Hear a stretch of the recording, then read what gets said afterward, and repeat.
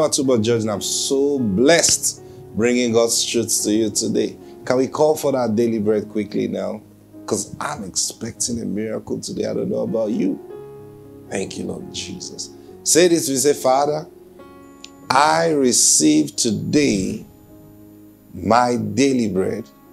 It's coming to me now. In Jesus' name. Amen. Man, praise God. Oh, we bless you, precious Holy Spirit. This is your job, teaching us and guiding us into all truth. Saying to you that we never walk in a lie.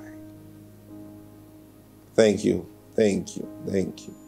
As we submit ourselves to you completely today, I declare every burden lifted, every yoke destroyed right now. In Jesus' name. Amen. Praise God. Now I know we're in the week of um, um, Christmas, and and it's so all about celebrating the birth of our Lord Jesus Christ. And that's why we are talking to you about who is Jesus. So you will understand and take full advantage of what the season is all about. when we say Jesus is Lord, oh, many people don't understand what we're talking about. Thank you, Lord. It's just awesome that you reveal these things to us. It's awesome, Lord. And we appreciate you so much, so much, so much. Thank you, Lord Jesus.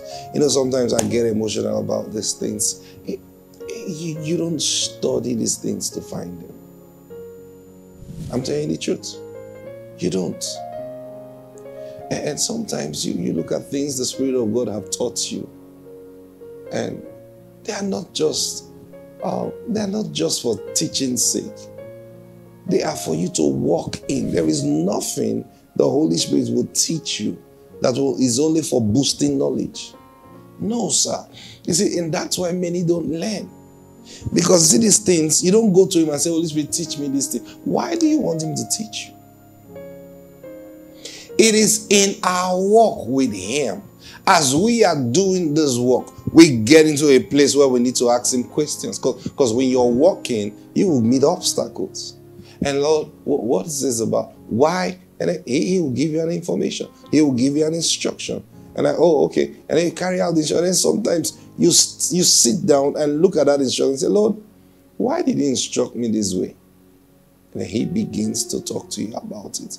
And while he's talking to you about it now, he's talking to you so that you will improve your walk with him. There is no other way to improve your walk with him than having accurate knowledge of him. Many things we have believed for so long need to be revisited. But not revisited with, with the um, mind consciousness. Revisited in the place of fellowship with Him. So the more we know Him, the more our eyes are open to see Him, the more we walk in the truth. Oh, thank you, Lord Jesus. So thinking about it many times, ah, you know, I, I'm so grateful to God. And I believe anyone, anyone who will sit with him, anyone who will stay in his presence, Wait until He explains it to you. There were times I would ask the Lord things and then He would take him up to a year. I remember specifically. Many years ago. It was about a year after I asked Him that He came to reveal it to me. Think about it. I studied something, I didn't get it, so I like, Lord, what's the meaning of this? And He began to explain to me. It took Him a year. And and I, not I was praying every day. I said, Lord, you've not spoken to me. No, I'm telling you this. I forgot about it. You know how you just feel like, well, maybe, maybe it's not for me to know. And then one day he just showed up and said, Remember you asked me concerning this? I said, Yes, I'm ready to talk to you about it. I remember that day I was in a meeting. I said, Lord, please wait. I need to write. And I had to race to my place got out my diary and said, Lord, I'm ready. And he began to talk to me about it. Then I realized he never forgot. Hey, I even realized he answered me from the very day I asked. Now, what happened? He began to take me precept upon precept, line upon line, you know, now until he got to that place where he now opened it up to me. Now, he needed me all that one year, he needed me to get certain experience and certain informations right. Now, that is the same thing. Sometimes you ask the Lord for something and it looks like He's not answering. No, He answered you the very day you asked Him. But is He answering you and you receiving that thing is completely a different story.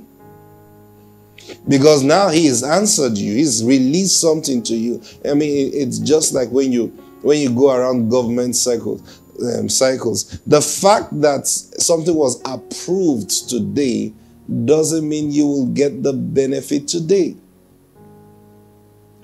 Is it you it may be approved today, but you are going to get the benefit of that approval many months after. Because they will tell you, oh, there are processes to follow. We have to follow this process.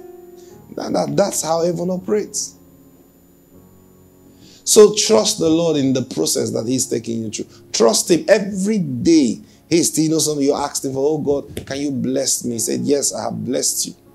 Where is the blessing? He takes you precept upon precept, line upon line, here a little, there a little, and eventually you wake up one day and like, whoa, the Lord just blessed me today. No, brother, He didn't just bless you that day. He has blessed you since, but it has taken you this long, and today to recognize the blessing. That's the truth. So you see, Jesus, the knowledge of Jesus is like that. But don't be afraid to ask. Ask anything, anything. I was telling you yesterday, he said to Abraham, In you all the families of the earth shall be blessed. Now, when he spoke that word to Abraham, he wasn't mincing words. He meant it. And he's a keeper of covenants. He's a keeper of promise. He doesn't need you to remind him of the promise he made to you. He keeps it because when he spoke it, he spoke his own. Ah, ah, hey, hey, you know. When he spoke it, he didn't speak it because he was high, or maybe eh, you know, maybe on joy. Maybe you praised him so much, so he was just high on joy, and he just began to speak. No, brother. Every time God opens his mouth, it's according to purpose. So he blessed Abraham, and that's the reason he came to Abraham and said, Abraham, yes, sir, I'm going to teach you something. Okay, sir, I'm ready to learn. I'm going to teach you about tithing. Every blessing you get, a tenth of it is mine. Now that's where tithing came from. A tenth of it is mine. Okay, sir. I'll do that. Now start with this. So he started with that, with the loot he got from, from the dealing with those kings. And Melchizedek told him exactly what to do with that tithe. But you see, he started that process because of the promise that God had promised Abraham that in him all the families of the earth will be blessed. And I was telling you yesterday, now then, Jesus wanted to fulfill that promise made to Abraham. But to fulfill it, he had to step into his ministry. He had to step into that priesthood of, after the order of Melchizedek, where he now receives our tithes. See?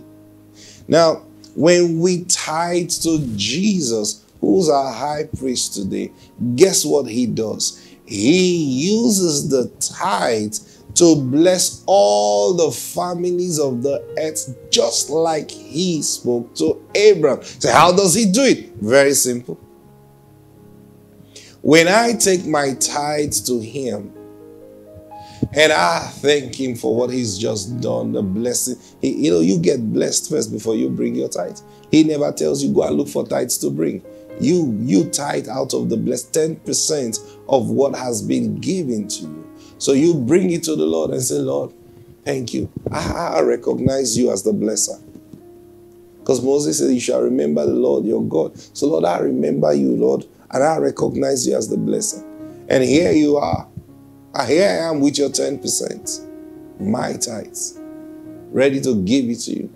Lord, can you just tell me what you want me to do with this? Can you tell me where you want me to deploy this?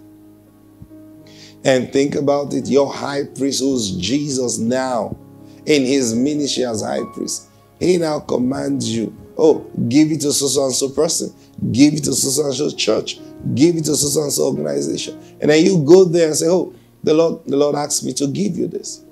Now it can be anyone. Anyone. I'm telling you, it can be anyone. But many of us are not participating in this with Jesus in this ministry. We are still functioning like the Old Testament folks.